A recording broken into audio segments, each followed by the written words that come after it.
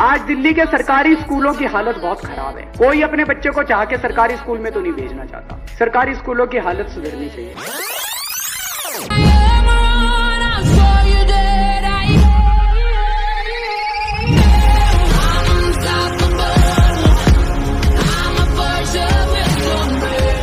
आपको जान के ताज्जुब होगा, इस साल ढाई लाख बच्चे प्राइवेट स्कूल छोड़ के सरकारी स्कूलों में आए हैं। तो सरकारी स्कूल बड़े अच्छे हो गए।